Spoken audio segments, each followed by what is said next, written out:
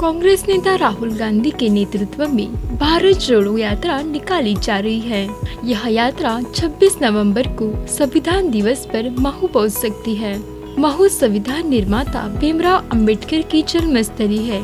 भारत जोड़ो यात्रा की आयोजन समिति के प्रमुख और राज्यसभा सदस्य दिग्विजय सिंह ने इंदौर में मीडिया को बताया कि मध्य प्रदेश कांग्रेस कमेटी के प्रदेश अध्यक्ष कमलनाथ की अगुवाई में एक नवंबर तक फैसला किया जाएगा कि प्रदेश में इस यात्रा का मार्ग और स्वरूप क्या होगा।